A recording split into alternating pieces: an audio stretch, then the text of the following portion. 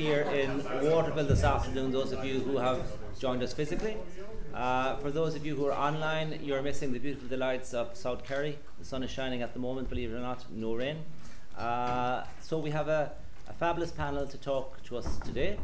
Uh, I'm Tim Hayes, I'm Head of Communication at the European Commission representation in Ireland. And, and, what we like to do is we like to have events around the country in different parts of the country. And this is one of a series of events uh, that we've been holding. Uh, so the last series of events that we've had have been on the, on the Green Deal. Uh, and we've spoken about different aspects of the Green Deal. And the Green Deal is, is quite important because it is our reaction uh, to the illegal invasion of Ukraine by Russia and the desire of the EU to move away from the use of, of fossil fuels. So we need to become more self-sufficient with, with energy.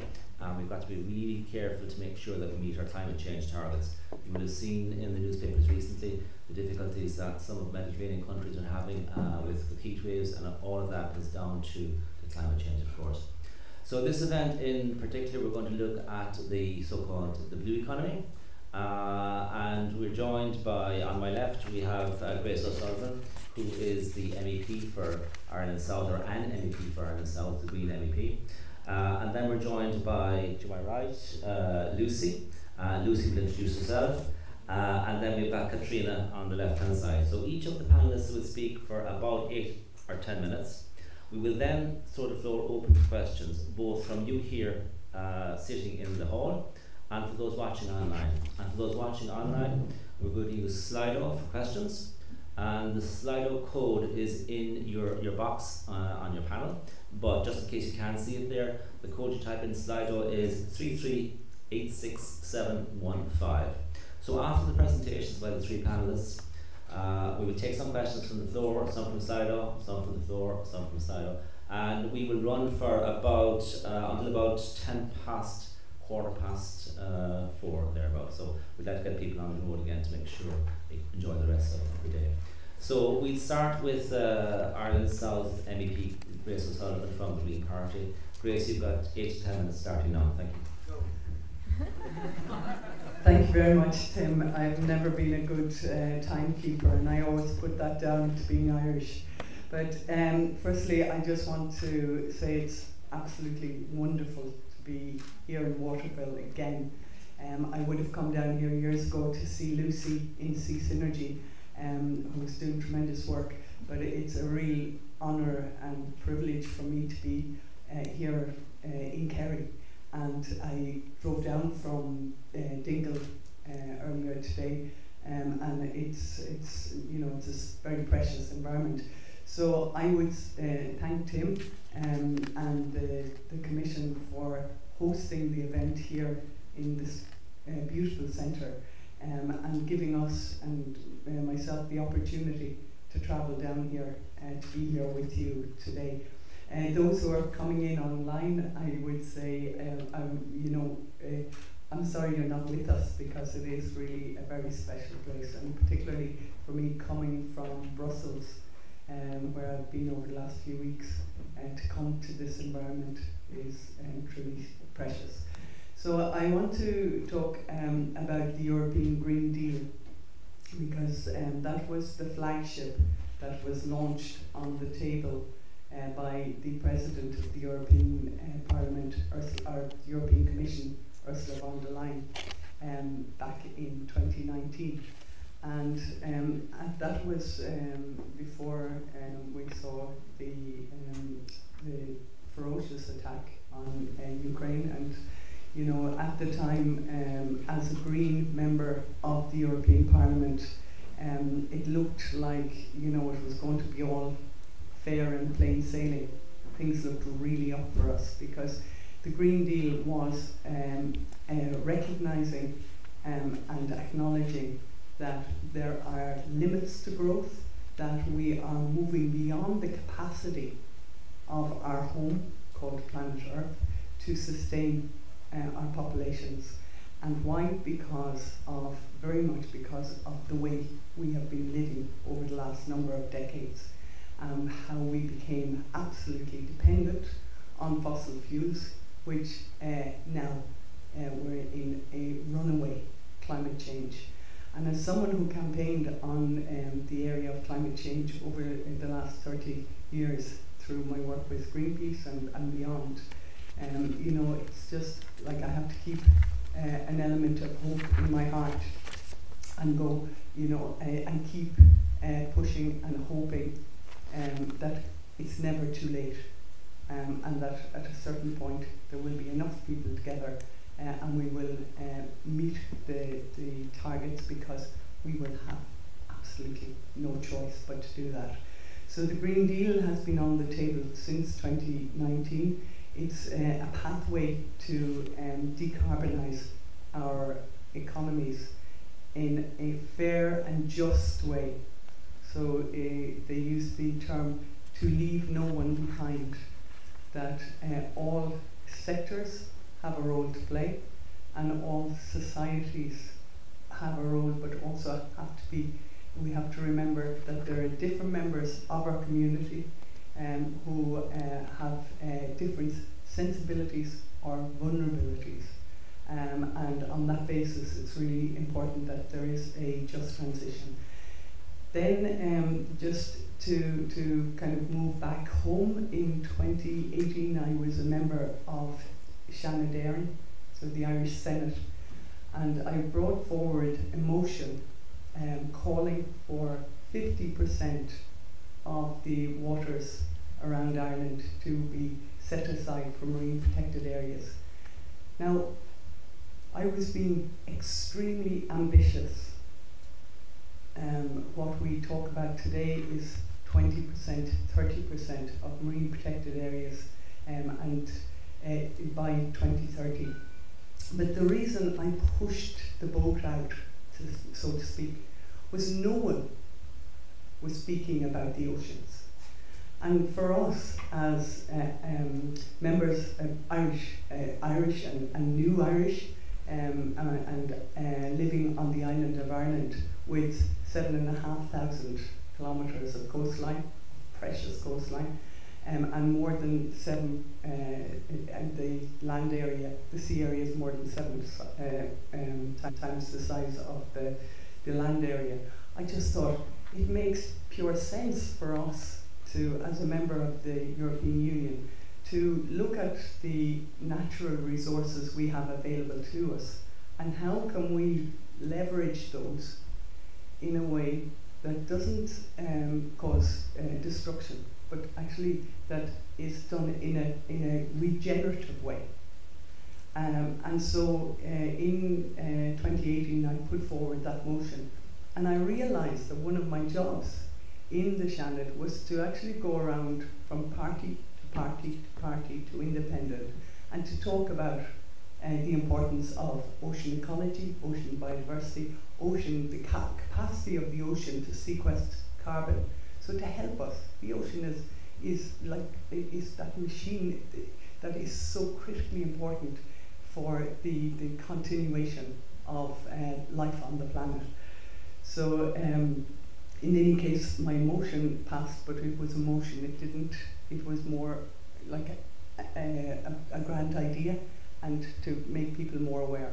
And um, so, since going into Europe, um, over the last few weeks, the issue you might be most aware of is the uh, legislation that was following on the suite of legislation that passed to decarbonise.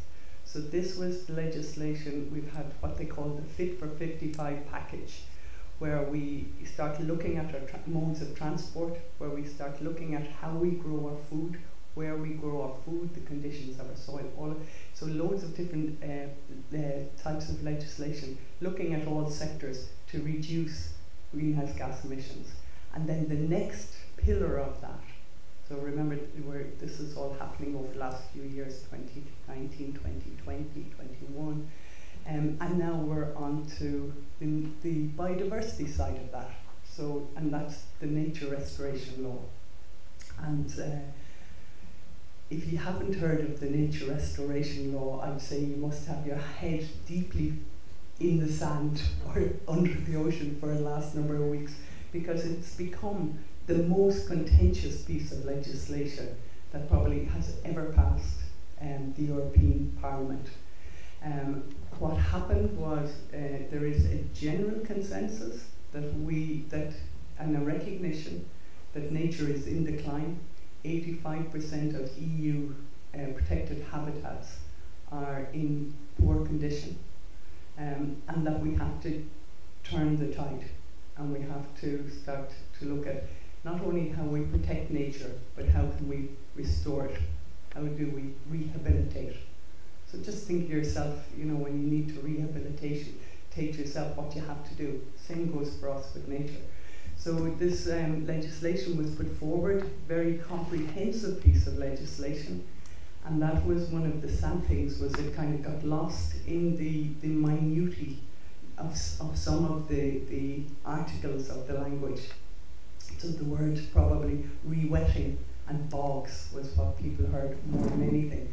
But actually the legislation covers the whole marine area and that's pushing for 20% of uh, protected areas by um, over uh, the next years to 2030. Uh, we in the Green Party would be um, more ambitious and we would be pushing for 30 by 2030.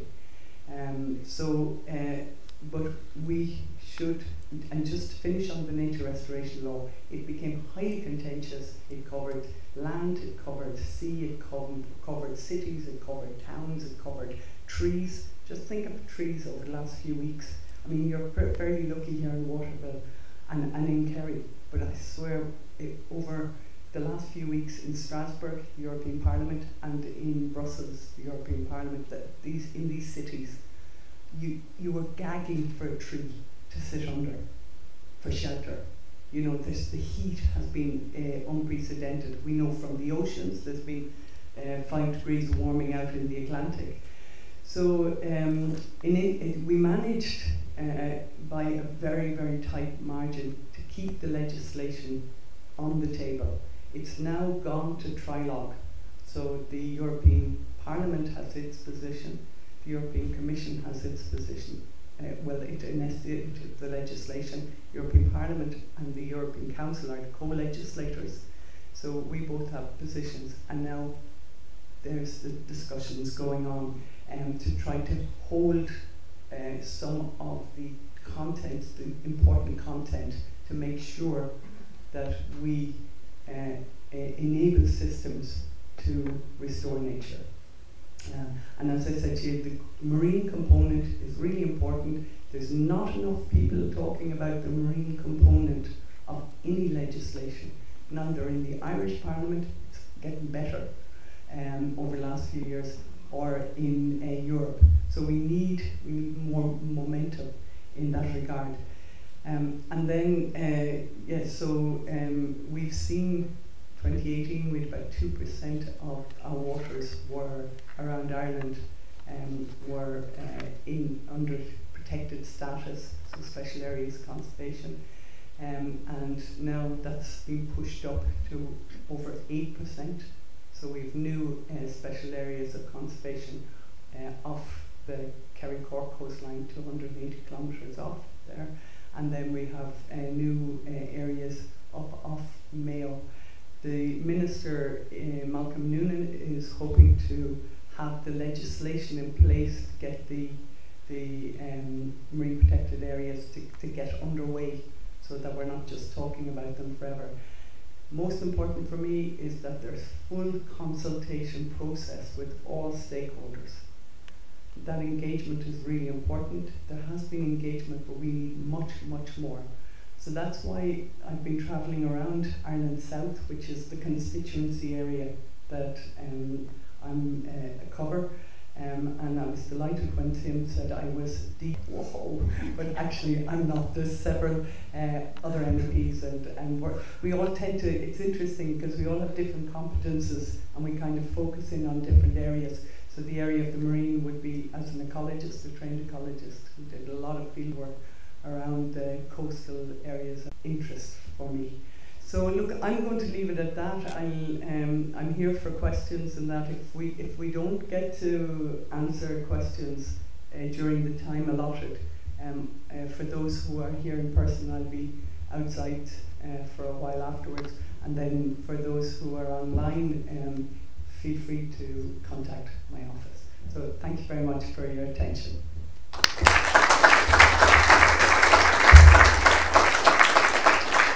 Okay, thank you. Thank you so much for that, Grace. And uh, our next speaker is Lucy, and Lucy is a local. Uh, she's a meteorologist and she is very interested in ecotourism and everything to do with the marine. But she's going to introduce herself, she told me. Um, so Lucy, uh, Lucy, about eight to ten minutes as well, and then after the three speakers have finished, we'll sort of floor for questions. Perfect. Sounds good. Um, Céad míle fáilte to my home turf, Waterville. I grew up about a mile outside of the village in a place called Smugglers Inn, and the Inny Strand, or it's known as the Golf Links Beach, was my blue backyard. So ever since I was a child, I've um, had a big connection with the ocean. I was very lucky I learned to scuba dive when I was 12, so the whole underwater world was opened up to me. And that was just in Derrynane and the offshore islands of Deenish and Scariff. So some of my best memories have been built with the ocean, and um, I think it's been a huge part of my family. So when something is a big part of your family, you want to protect it. It's like part of you. So as you would with your gran or your granddad or your parents or brothers, you want to protect them and look after them. Um, so that's what I've been trying to do for most of my life, even since I was a tiny child. Um, it's Shark Week. Whoever knows about uh, the ocean, it is Shark Week around the world, and there's lots of raising awareness of sharks. And I just want to tell a quick story on sharks here. Um, a lot of people will have heard of basking sharks, but back in 2008, not many people knew that there were basking sharks. Um, and I got a phone call from a friend saying there are sharks around Hogs Head, so that's the headland just outside of here. And I, I was like, really? Okay, let me check it out. So headed out there and did a little bit of online research as well whilst looking at these massive animals 12 10 to 12 meters in length and they were just swimming around gliding and on both sides of Hogs Head so this is the headland just out to the south. And anyways I said to my brother who's also a water baby let's get in. We don't know like if we'll ever get a chance to see them again.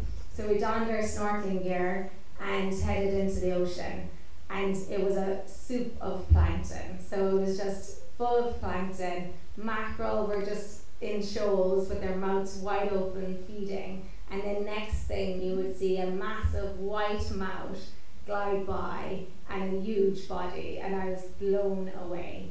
Um, so that was like a, a momentous moment in my life that made me think you know, we have everything here in Ireland with marine life. There's so much here.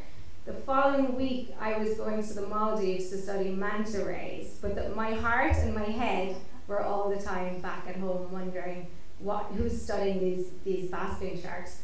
So came back after some travels and some research on manta rays and, and whale sharks, thinking need to study these basking sharks. And so with Simon Berrow from the Irish Whale and Dolphin Group and some other amazing scientists, some of them here in the room, um, we started the Irish Basking Shark Study Group. And I was one of the first female scientists to tag a basking shark in Ireland. And since um, then, there's been many other studies um, that I'm not always involved in or haven't been involved in for a while um, that are studying these amazing creatures that are living on our coastline, the basking sharks. Um, and if anyone is interested in getting involved with the ocean and more ocean encounters, the Irish Whale and Dolphin Group is a great organisation. So I've had amazing encounters with blue whales, fin whales, minke whales, dolphins, all off the coast here, off the Kerry coast. It's been fantastic. So I wanted to share these encounters with as many people as I could, raise awareness about the ocean, and in 2014 I opened up Sea Synergy Marine Awareness and Activity Centre. So there, our mission is to connect people with the ocean, to provide access to people um, for to get to know the ocean. And I often say to fall in love with the ocean as much as we love the ocean, so that they want to protect it. I believe you have to be emotionally connected with something to care for it. So we do that through education. We run the Marine Explorers Education Program for the Marine Institute around the primary schools in Kerry, and Tash is here, she organises all of that. um, as well as our activities. And our activities are all about connecting people with the ocean. So we bring families snorkeling, we bring them on seashore safaris, and what is really great for me is that they might come as a family together enjoying their first ever encounter on a snorkel but we've built a memory for them that the ocean is part of. So they'll always have the ocean as part of that memory. And then with our seashore safaris, we have uh, um, families come to the area and they go back home uh, after an exploration with us, and they've told us that their whole lives have changed around the coast because they see their own local coast in a completely different way. So they're building a relationship.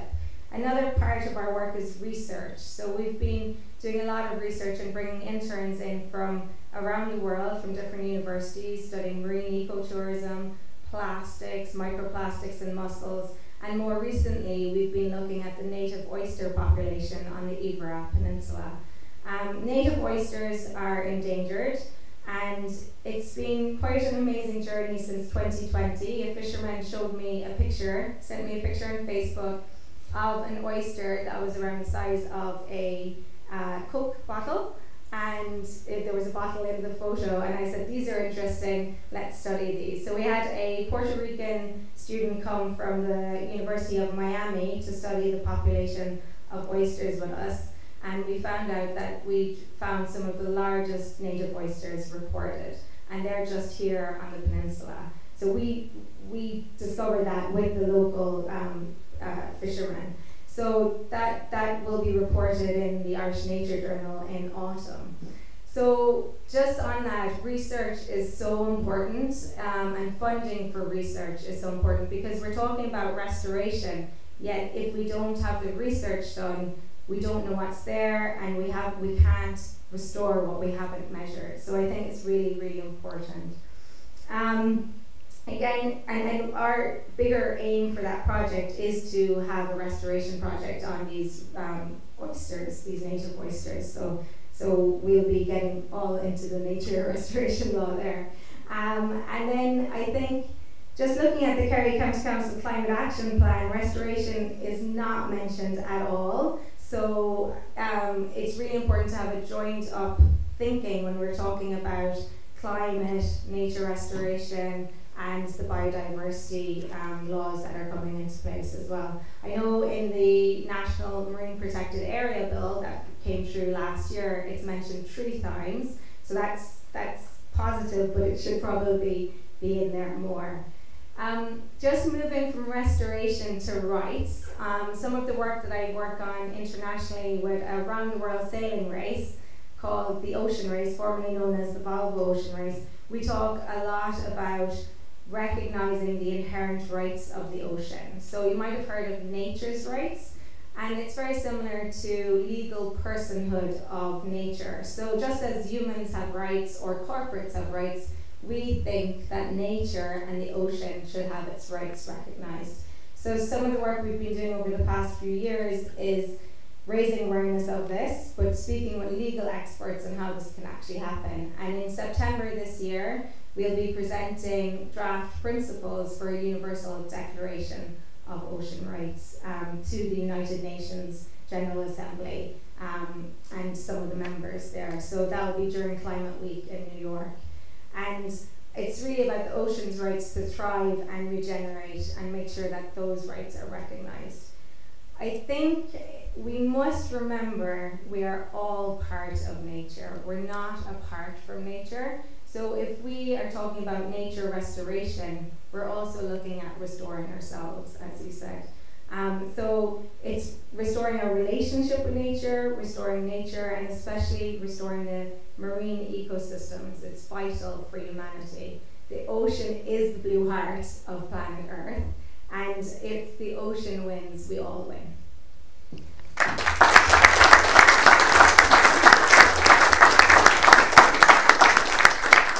Okay, thank you very much, Lucy, uh, and that's a nice thought to finish your presentation with. Uh, our third speaker for the afternoon is uh, Katrina Ignace, and Caitriona works in the Marine Institute in, in Galway.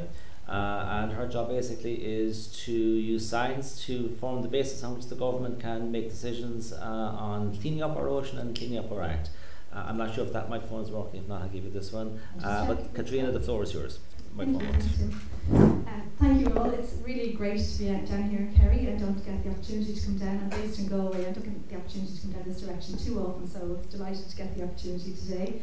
Um, I like like our panelists here. I've you know I have an innate kind of love of the sea, and I you know really kind of feel it's part of me. And I grew up along the sea in, in Dublin, but please don't hold that against me. Uh, this anyway.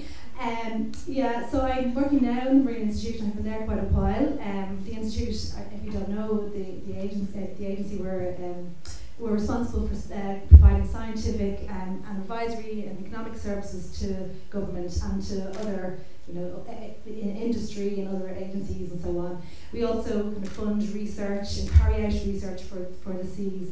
Um, we, we, my specific role is to provide um, scientific and technical advice and make sure that the Department of Housing um, has technical advice that they need um, in their water services, which are you know, around the Water Framework Directive, and Marine Spatial Planning, and Marine Environmental Legislation, and Marine Strategy Framework Directive. They're two pieces of European legislation that Ireland has to deliver on. Um, so yeah, so today, today I want to talk to you a little bit about um, what the why I mean uh, uh Grace has already mentioned about the na nature restoration law and um, you know European Green Deal. And I want to talk about why um, why this is important and particularly why it's important to Ireland. Um, so nature restoration you know is really important uh, to our seas. And what the other thing I want to talk today about is like what we're doing in Ireland um, to, to deliver uh, nature restoration. We were already doing work to try and you know, to, deliver nature, nature restoration, and I want to like, touch on that as well. And it's, it's right that this, the law is progressing through um, through Europe, and I think you'll see that that kind of evolving so much more into the future. Um, so I just you know my screen here. So.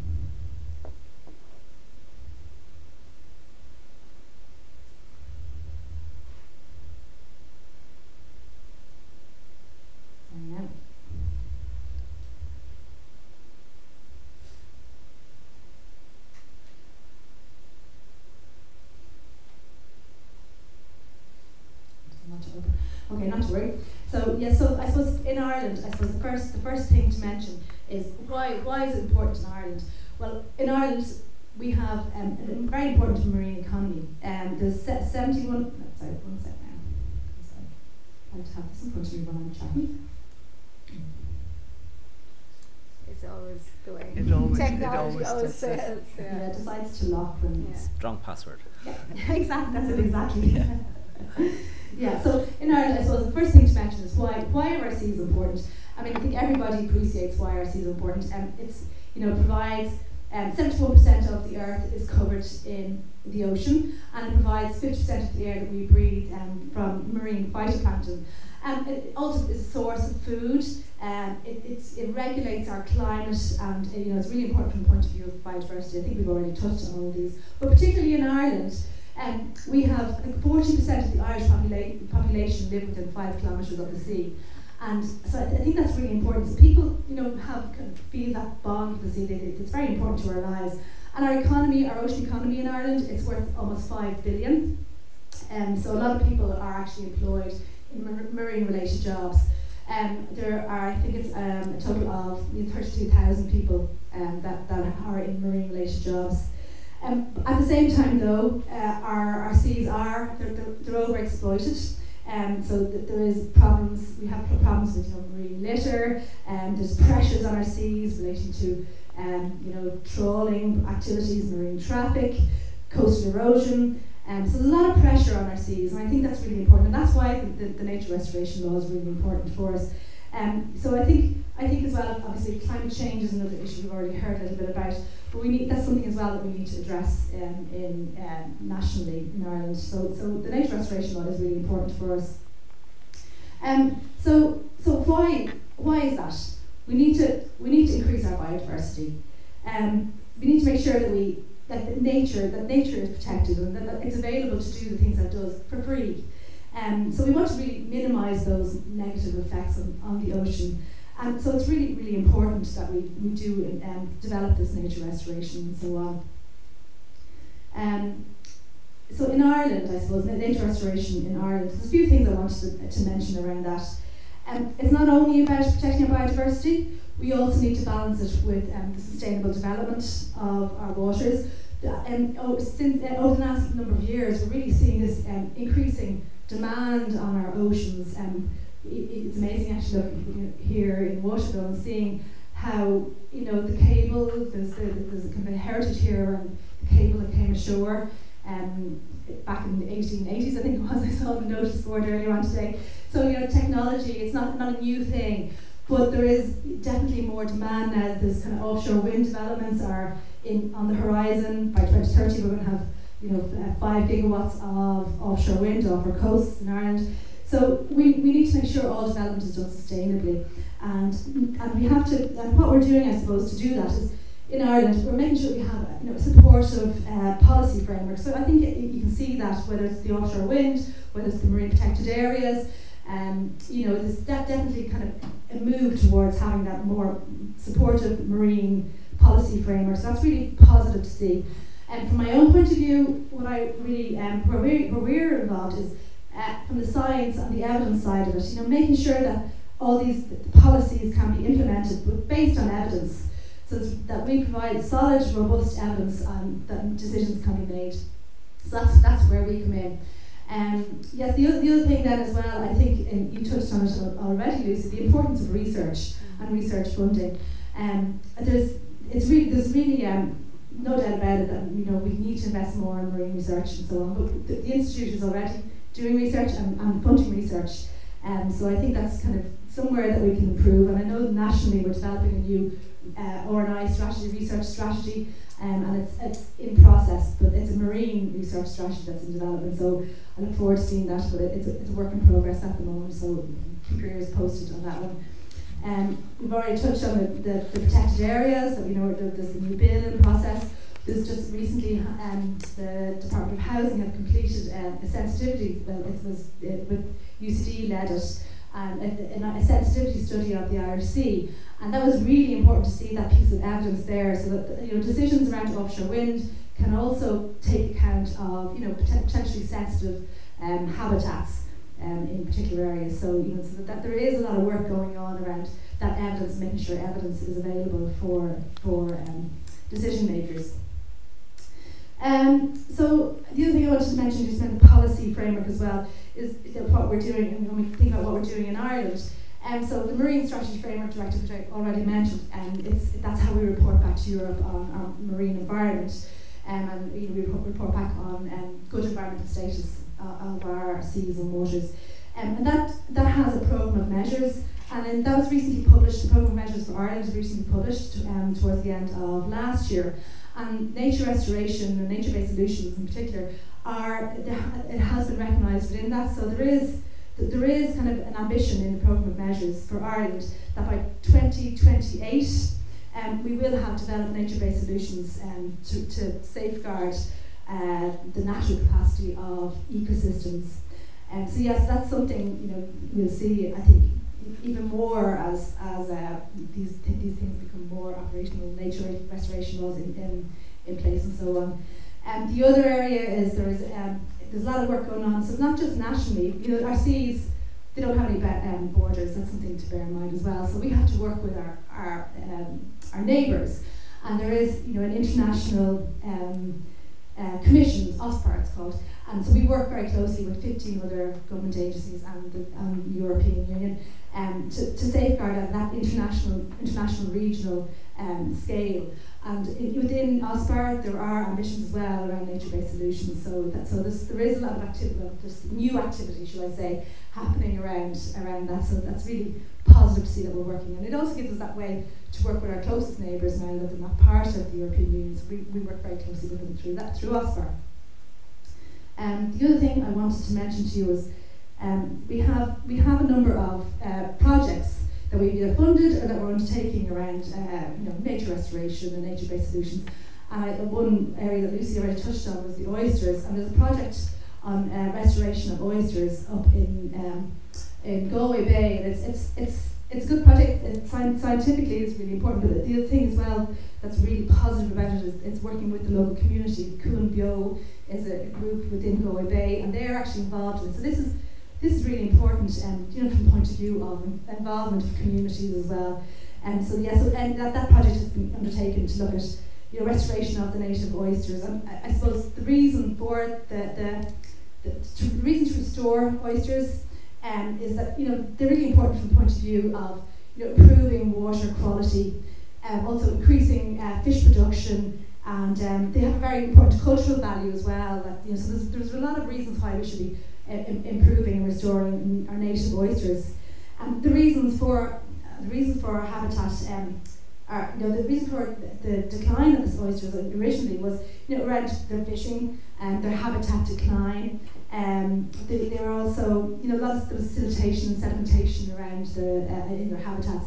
So, so that project has looked at actions to actually restore um, the, the oysters. So they, they've taken a number of different approaches. One is where they've like, looked at habitat suitability and they've increased the substrate of the oysters um, to try and uh, to encourage their their um, their growth. And they've also they've also um, implemented management plans and they have they've, they've settled in they've, they've actually put in um, oysters to settle within areas and so on. So it's really really positive project. There's another one I just want to mention as well um, that's around restoration of sand dunes. And that's a bit closer closer to here. It's in Brand, Brandon Bay so it's, it's close to me to say as the crow flies. And um, that's one that NUIG are doing and um, they're, they're looking at how, how they can they can work with the local community to restore um, the sand dunes and down there. So that's another really interesting one to, to, probably hear more about. So I think I will leave it there for now um, and pass back to Tim. Um, thank you.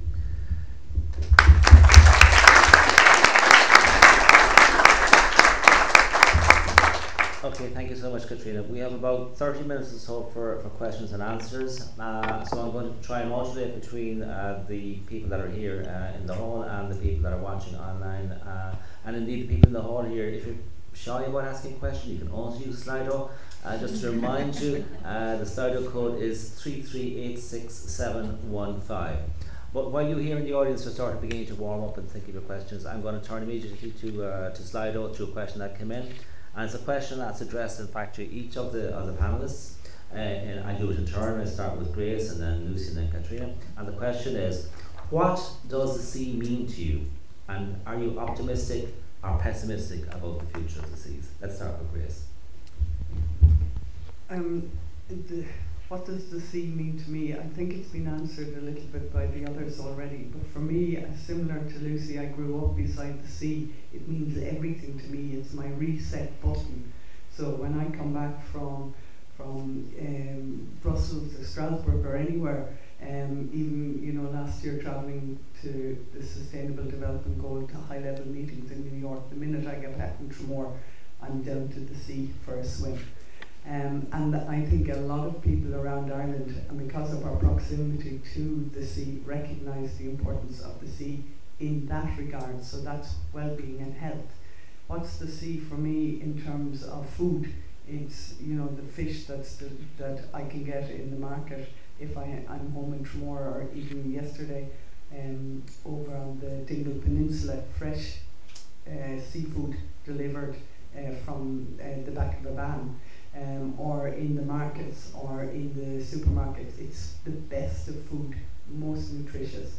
Um, you know, and then it, and then I start thinking, okay, well, who delivers that food, you know, to us, and how can you know the fishing communities being sustained? And so there's all that well-being. There's food. There's health. There's uh, recreation, and then I suppose um, I'm, I'm just um, at 12 o'clock I was looking at the EuroSurf competition in, um, in uh, Portugal.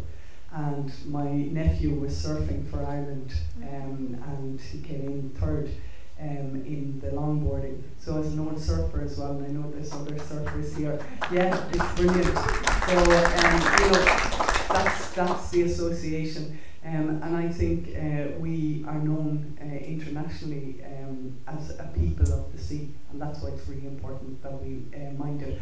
But the health of the ocean is important, and not to forget the, the water around Ireland, the coastal water, the seas, the Celtic Sea, the Irish Sea, the, the Atlantic Ocean, you know, like we've lots of different seas, bays and all of that and it's written in our it's written in our heritage and in you know um, so many poems and that it's so much part of our culture. So for me the sea is hugely important. Okay, thank, thank you, Grace. Actually, that was a, a little bit longer than, than I expected oh, as an answer. I love the sea. I know you love the sea, sorry. Uh, so I, I think that maybe we give the other two panelists a chance in the context of other questions to add, you know, what it is that turns you on about the sea. But now I just want to involve the audience here. Has anybody got a specific, a specific question that they would like to ask? We have a roving microphone here. Jade is going to bring it around. Uh, could you just please explain who you are uh, before you ask a question? Yeah, Russell.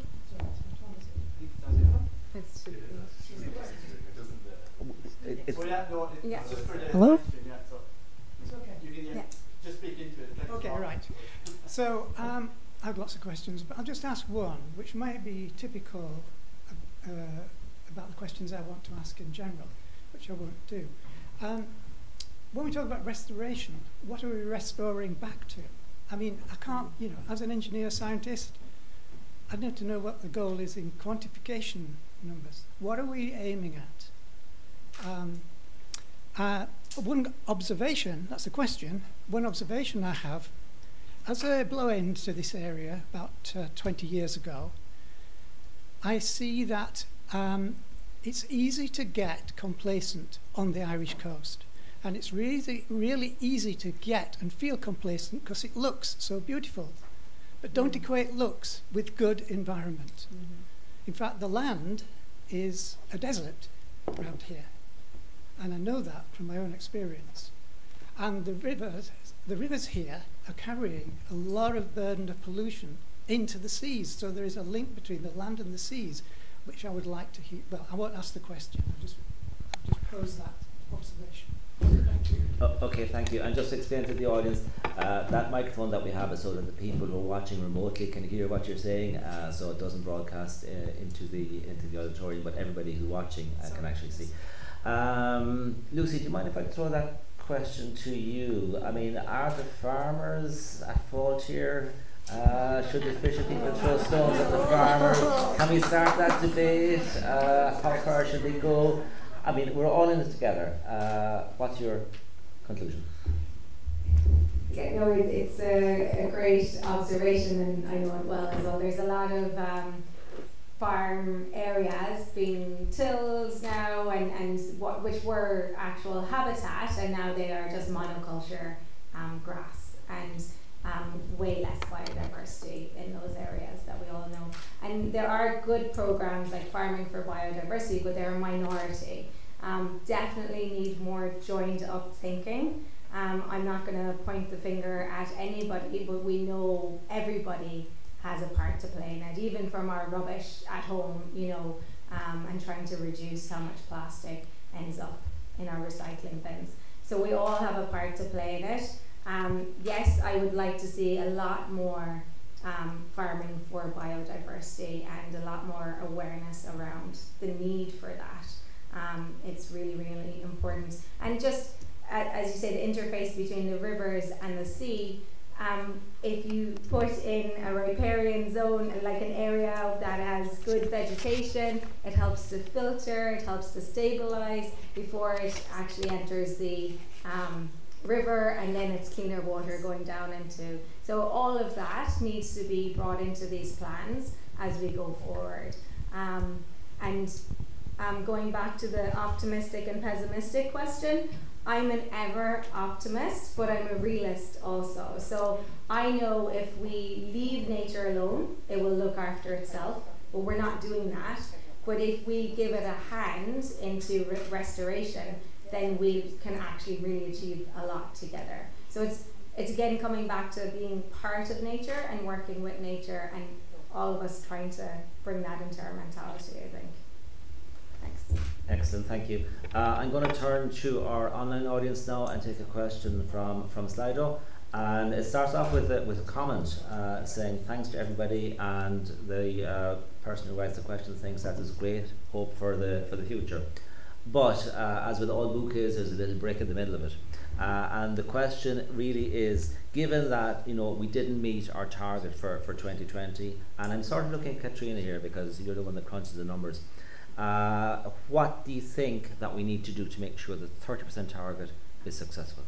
What actions should the government be undertaking? I know that you're advising the minister, but what actions are really necessary so that we can really achieve our targets? Well, I suppose um, I think the key thing is to get the, the new legislation enacted. The, the bill has to be uh, enacted. So there's a process there that we can develop marine protected areas in Ireland. Um, so that's that's a, a key thing.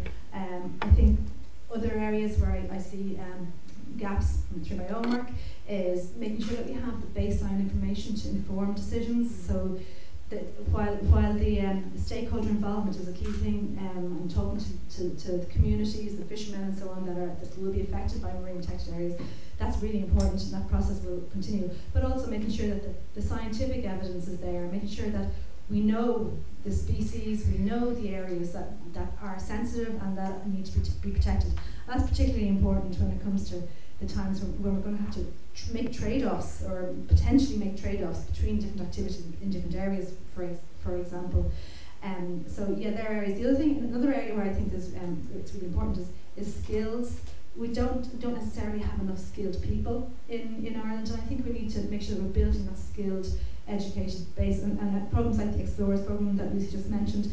You know, building that out, making sure that, that third level students know that there's opportunities to um, to follow marine careers as well and make sure that we can in, in the future in 10 years time that we will have a skilled workforce to, to support marine protected areas and other like offshore wind developments and so on make sure that it's all done sustainably optimism or pessimism oh absolute optimism I think I see the, the, the sea I mean I think in Ireland in general, I feel people have, have, don't really appreciate. You know, I mean, I, I know you, don't, you have a panel here of three people who, who understand and appreciate, but in general, people don't appreciate the value of the sea. And I think I see I see much more turn now in the last maybe three four years. There's so many people, um, probably really since the, the war in Ukraine as well. There's more awareness of the sea and more awareness of offshore wind opportunities, and I have so much um, optimism for the future. I think, yeah onwards and upwards. It's fantastic to see so much optimism at this side of the table anyway. So we turn again to our physical audience. Uh, is there any other burning question that somebody has? I see about four questions asked for. So uh, JJ, can you give the microphone to this lady? Again, the microphone doesn't uh, broadcast here. It's for the people at home to listen. Gormahagut Norman Ivorhut Sanum Dum Color O'Toole. Uh, Norma Moriarty, local county councillor. And look, thank you very much for your presentation, for coming to Waterville the centre of the universe. You're always welcome here. Um, I, I, suppose there are several things. One, just a very practical thing, Lucy, you mentioned there about the council's climate action plan not mentioning uh, res restoration and so on. Opportune time. Yeah. It's open for consultation, and it, that consultation closes on the August the eighth. So it's very important that you reference that. Give people the opportunity to get the submissions in, um, and it's consult.kerrycoco.ie. So get get on those submissions the optimism thing is something that's been going around in my head for a while. I was listening to a program by Manchán Magan on the road one evening, and he had a Dutch um, research professor on with him whose name escapes me. But and, and he was brilliant, absolutely brilliant, talking about you know our environment and so on. But he said he feels there's a crisis in optimism, which is as dangerous as the crisis in the environment at the moment, mm. because he said a, a whole host of young people were asked the question, "Are you optimistic about the future?" Uh, and he said there was a 30% positive response to that, whereas in the past it would have been over 90%. And that's, that's frightening because if we don't believe we can achieve it, you're, you're, you're, you're make your, your job a lot more difficult. Um, and I, I, I think that the, what has happened, I suppose, what we witnessed in Europe and what we have witnessed over the last couple of weeks, I think is really anyone who had any doubts, I think they're now of the realization this is happening at a really frightening pace. Uh, and it's not about the survival of the planet, but the survival of human beings' capacity to exist on what that planet will look like. So it is our own, you know, future and the future generations. Obviously, we're looking after. I'm a pragmatist, right? I'm not an idealistic uh, individual of any shape or form. I'm a pragmatist. We have a resource at our disposal in terms of clean energy production and, and offshore wind energy. Are we going to hamstring ourselves to the degree that we actually don't harness that to the point where we can actually make a difference in terms of producing that clean energy. And that's my worry and my concern, I'll be honest. We need to do it, and how do we do it in a way that we actually can do it quickly enough to make a difference? Okay, listen, thank you so much for that. Um, can I turn to Grace to answer that, uh, the final part of that question, Grace? Yeah. Uh, thanks very much, Councillor, and, and, it's great to see you here. Um, and thanks for that news about the consultation process as well, really important. Um, I would say I'm nervous. I'm very, very, very nervous at the moment because I have for years seen opportunity and I've seen opportunities missed and that's why. Uh, but at the same time, I'm uh, I genuinely believe that we need to uh, have consultation process, but we need to also get on with it. And I think this summer, more than ever, we've seen that we better get the hell on with it because otherwise it will be a hell on earth. And that's what, like people have, I've said to people, this is extraordinary, the burning that's going on around the planet the, the, the extreme weather that we knew, we were told would happen, it's happening.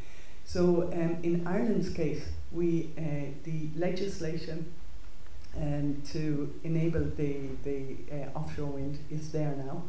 Um, we have just, I think last week or the week before, MARA, the Marine um, Authority, to regulate the, um, the uh, offshore um, uh, requests uh, has been put into place. Um, so, um, and that's led by Mark Mellett. So I know they're very, they they have a job of work and they have a program of work and they're getting on with it. And so it will happen uh, fairly quickly.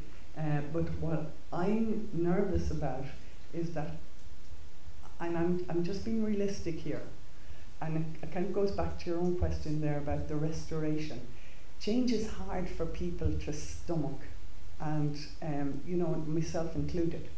And um, but I recognise that things are going to have to happen, and we're going to have to uh, compromise. And you know, for us, the art of politics is compromise, and you give and take. but it's to bring the communities on board and the people around the country and to listen. And we had such like there were public meetings on that nature restoration law where there were climate deniers uh, around the table, you know, where people were balking back. And now I think more than ever, and I don't care who we are or who you are, but now we need leadership and real leadership. And we need people at the table who are prepared to, to very quickly, and it has to be done with haste now, to take things on board and to have whatever you want to call it, to move forward. They're going to have to have the grit and the courage and the, the absolute determination. There's nothing in there, I would say, about uh, being, um, you know, naive or anything. Hard decisions must be made and they must be made soon. And if we don't put together loads of parts, like you were saying, Caitriona, about the skilling and all of the rest, uh, we're, we're, and that's what I'm telling you, I'm genuinely nervous because I'm afraid if we don't do it and we don't take the courage and we don't have the leadership, um, that we, we will, uh, literally, we will, that percentage you talked about, the 30%, we'll see it falling again. So we need that political courage now more than ever. And the legislation, since I've been in politics only a few short years, since 2016, the legislation's been enabled um, uh, at pace, but now we need to get the momentum. And like I said to you, it won't suit everyone to see the turbines out there. It really won't suit everyone. Mightn't be, you know, like some people like them, some don't. But if we don't get on with it, um, we're genuinely in trouble. I, I, think it goes back to what this gentleman yeah. said. You know, I, and I'm sorry, but just the point is important that it might Yeah, it's just that no, nobody looking uh, from abroad. Because they have. These oh, people yeah. are important too. Okay. no, that if you don't see it and you think it's fine, so what's happening underneath, it might be obtrusive physically, but it's creating a cleaner environment underneath, and that's what we should be Okay, so it's a clean, envir- clean environment long term, uh, and you know even if it doesn't look uh, doesn't look good, uh, we still have to have it. And I think, I mean, uh, that was the point you made at, at, the start. You know, we've got to find a solution uh, to the move away from from fossil fuels, and Ireland seems to be one of the best areas, certainly in Europe, uh, for harnessing these resources to create this uh, renewable renewable fuel. Now, I saw two more questions here. There's a gent, uh, sorry, a lady back up here and another lady here. So let's take the lady on my right hand side on top, please, JJ. Uh, so once again, if you can speak loud so we can hear you, but people watching can hear you from that way. Sure. Um, yeah, I totally relate to Grace's fear. Um, I know we absolutely have to do something, um, but I have an equal fear, and we've made so many mistakes already. I really fear for making the same bloody mistakes over again and that we will sacrifice our ocean territories, the ocean and everything you hold dear to uh, offshore wind all around the world. We're not just talking about Ireland. Ireland committing to it is just a part of Europe committing to it is a part of the entire globe committing to it. And nobody talks about the rare earth elements required, the copper required, the disturbance from the magnetic fields that are inevitable, and the life cycle analysis are only predictions because we don't have experience of it. It's only been in place for 20 years. And you and I, Grace, we know we're contemporaries. We know the ideals we started out with in the 80s have shifted and changed, and we've compromised and we've given up on dreams over and over again. And I fear for my children and their future that we are walking blindfolded into similar mistakes because everybody knows it's money rules the world, not personal philosophies, not heart and hope. It's actual money that's ruining us and is ruining the planet. And incessant, perpetual economic growth is unsustainable. Okay. Yes, I know. No, no, no th- th- Thank th- you. Thank you very much. Thank you very much. Just give a very quick comment. Just a very, thank you. quick Thank you, comment. thank you, thank you, Yeah. thank you. So th- thank you very much for that. I mean, that is the other side of the discussion, and this is why we're here to hear every side of, of what's happening. So thank you very much for that. No, no, that, that, that's, per- that's perfectly fine. That knows me here knows that. Well, th- th- thank you so much for putting that on the table because we need to think about that as well. I want to take a question here, a last question uh, from the audience from the lady on my, my left hand side with the sunglasses on her head. Uh, thank you very much. I didn't realise they were still there. Um, my name is Cleo Murphy. I'm the Green Party representative for the area, so delighted to see Grace uh, and the others here today. Grace, I was glad to hear you talking about food coming from, from the marine because it's one of those things that doesn't get talked about enough. And I have a real concern that um, when we talk about bringing stakeholders along with us, we need to have much better communication with the, the, the small fishermen, the inshore fishermen, and the aquaculture people, especially in this bay, Kenmare Bay, like the, the wider Kenmare Bay. Um, and, and also to hear Caitriona speaking about the marine economy, and I'd like to hear more about that. I was at a, a conference here in this this very room a couple of months ago about um, it, it was the end. It was the completion of the Life project, and there was a lot of talk about our tourism. And seafood is so much a part of our offering. It's what makes us special on the Iveragh Peninsula um, in, in, in terms of people coming down. So I, there's a lot of legislation and layers of legislation between what's happening nationally and what's happening in Europe.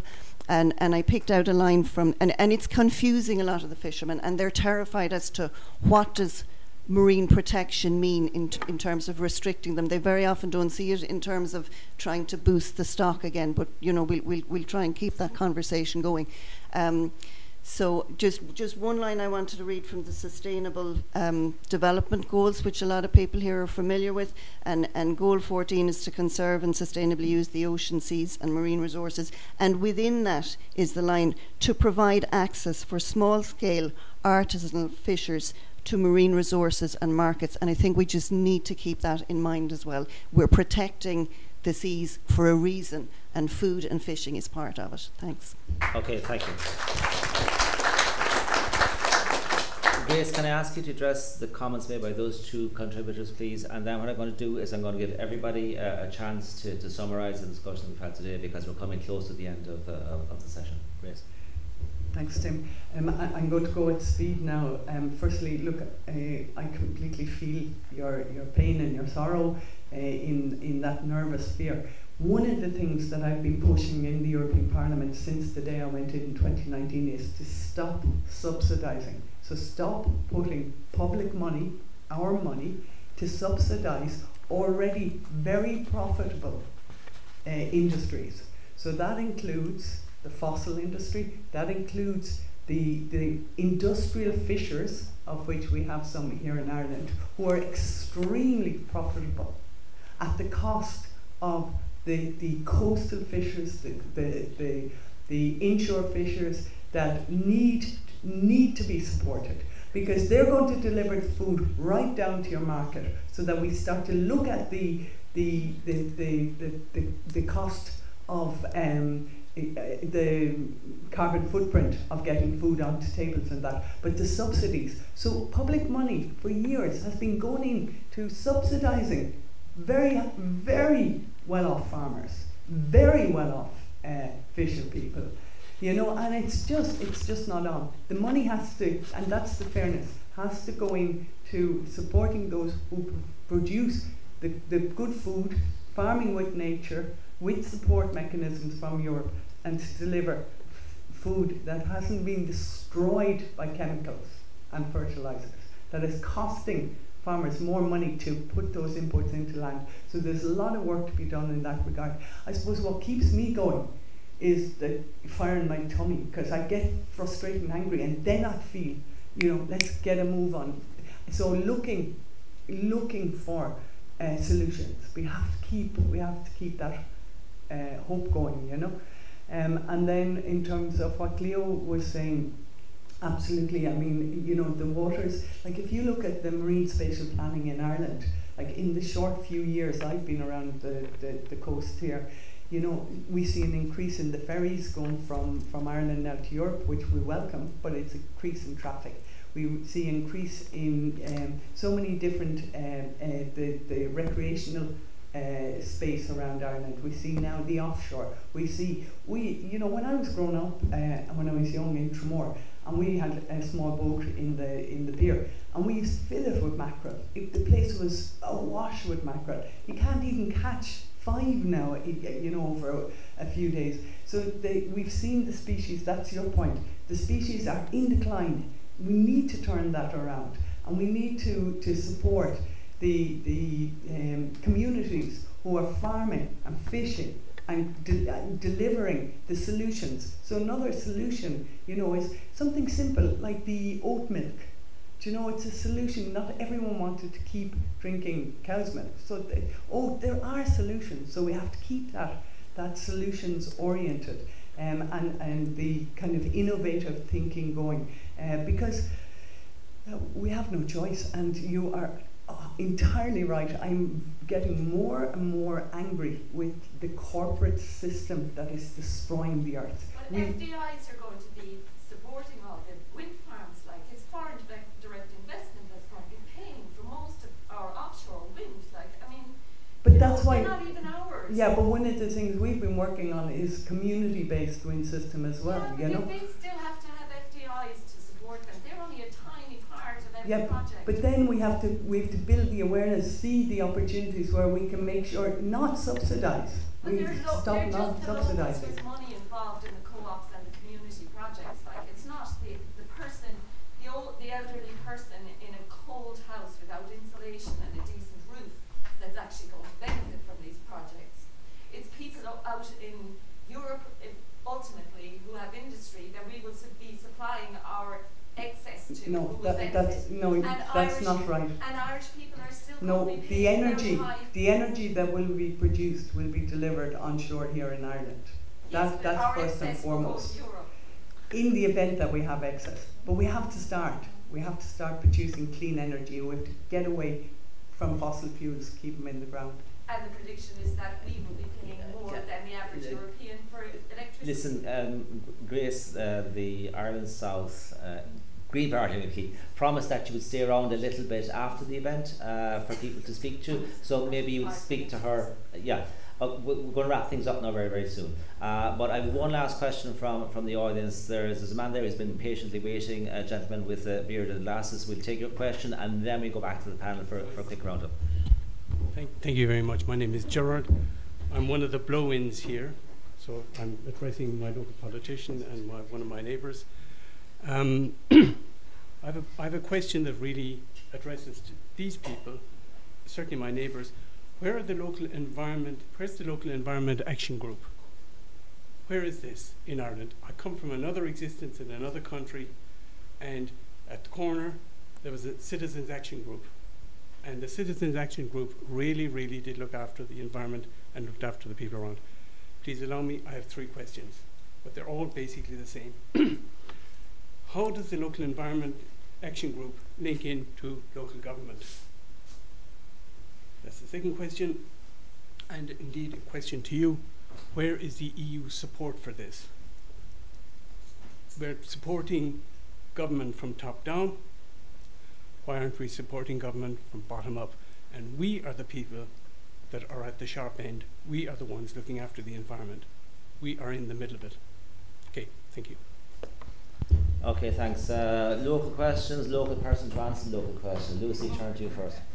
Yeah, sure. Thanks for the um, question. So there's a couple of local um, groups here. OG being one, Ballinskelligs Environmental Action Group, do amazing work um, with restoration and beach cleans. Sea Synergy and Tidy Towns Waterville um, we team up and do beach cleans as well, and we're doing the research so that we can help inform policies in the long term. So we make submissions to um, to climate change action and, and all of that to policy. Um, EU support is a good question because just yesterday I was emailing the council wondering what had happened to the local Agenda 21 and the community environmental action fund that we used to always be able to go out to the community and raise awareness about marine life and talk about how we can all be stewards of the ocean. Um, and that's been taken away since COVID, really. And I, I want to get back out there into the community and do that work. Um, so they've been helpful and sent us on some other um, ways of getting funding. So we need to look into that now. And, so there are pockets of funding, but it is hard to find it, but it, there needs to be more for sure. And hearing about the Marine Institute and the um, research grants that will be coming on board and stuff is positive, but that's that's all I can um, contribute to that really. Yeah. Um, maybe Norma knows more about the grants. Yeah. Uh, can we do bilateral uh, afterwards? If, if you can say just a couple of minutes uh, and, and, give the information, it'd be fantastic. But I, I, want to close up now because we promised people we'd close at a certain time, so uh, it's nice to be able to do that.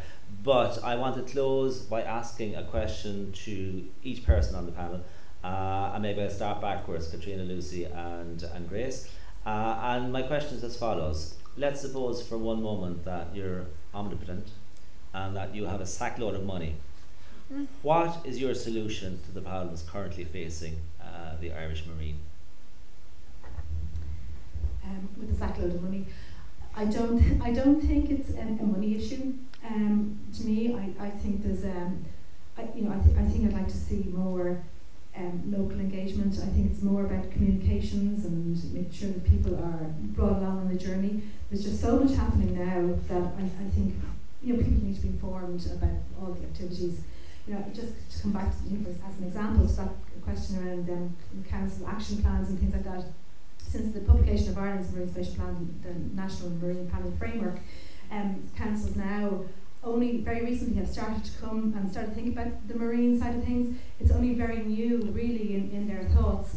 And, you know, to me, that's great. Like, it's only in the last maybe 18 months that we have had direct engagement with county councils um, looking for signs and looking for evidence to support their, their action plans. So I, I don't actually think necessarily it's, it's about a sackload of money. Okay, for, for me that's a very interesting result because you know when people are talking to us in the European Commission, everybody says you know we need money, we need money, and we have the uh, the fisheries program, we have environmental programs, we have all different programs. But I mean, what you're saying to me basically is that you know it's up to the people in the, in the local area to start doing things. Okay, that's, that's very interesting. That's very interesting. Okay, Lucy, can you add to that? Would you disagree? Um, I think there's definitely money there for for research for conservation, but it's very hard to access it a lot of the time. You nearly need to employ another person to apply for the grants, um, so it's really hard to to reach it. Um, so I don't think there's a one hit wonder when it comes to um, nature restoration and, and uh, a habitable planet. I think it's a, a, mixture of everything, really, from awareness, education, skills, um, understanding the environment. I think in dubio pro natura, in doubt, err on the side of nature. It's really important that we do that. When we're talking about the green transition, we are talking about people being fearful of things that can happen, but we cannot take the green or the blue out of the green transition. So we need to be cognizant of where we put those wind turbines, that they are not next to um, one of the largest gannet colonies or next to one of the puffin um, breeding sites, that they are in places that the wildlife and nature can still thrive and not be affected by it. I totally am on board for the green transition. Um, I think MPAs are vital. Um, we're going way past the sell by date for MPAs. We need better enforced MPAs. There's an amazing one in Lyme Bay in England, and since they've um, had that MPA, they, the fishermen have seen a 370% increase in fish catches in that area from that MPA being enforced there. So it's not just about having SACs and MPAs, it's about enforcement and the community being on board for those MPAs. So in dubio pro natura. Okay, thanks. Uh, SAC for the Uninitiated Special Area of Conservation, and MPA is the Marine Protection Area. And uh, a little bit of Latin thrown in as well, just to okay. confuse uh, everyone. Uh, listen, um, Grace, you've just got about one minute left, sack load of money, and you're all powerful. I absolutely agree with Caitriona. I don't think it's thrown money is going to work in this regard. Um, even though putting some money behind community energy pro- wind projects would, would go some way. Um, funding mechanisms have to be easier to get at. And just to go back to your point about the local authorities and the ground up, I think the, the awareness is building, but it, it needs to build now at scale. Uh, but the local authorities, I agree with you. I think the local authorities need to be far more empowered. And obviously, you wouldn't be surprised with me saying I would like to see lots more greens on the local authorities mm-hmm. because that's, you know, we might be, we mightn't be the most popular in the press or whatever, but we have we have the vision, you know.